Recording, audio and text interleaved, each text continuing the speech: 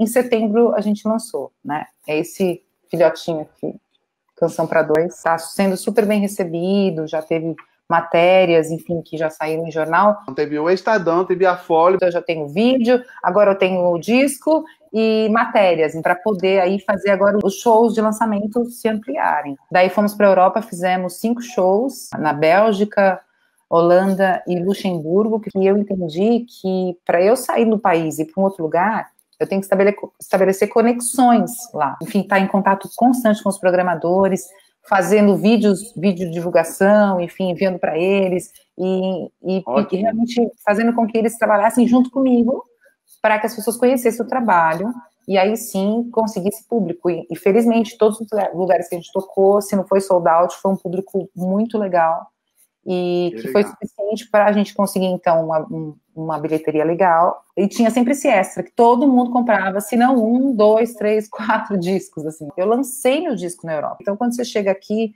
e você conversa com os programadores daqui, enfim, e vai fazendo esse trabalho de captação de shows, é, eles ficam, evidentemente, no mínimo curiosos, né? O que, que é essa menina que eu não conheço, mas que lançou um disco lá na Europa?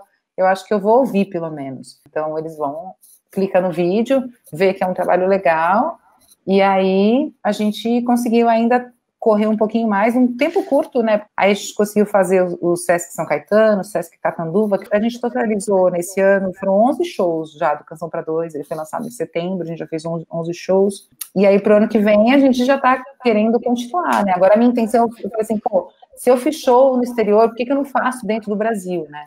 Então, eu estou mobilizando com algumas pessoas. Exatamente.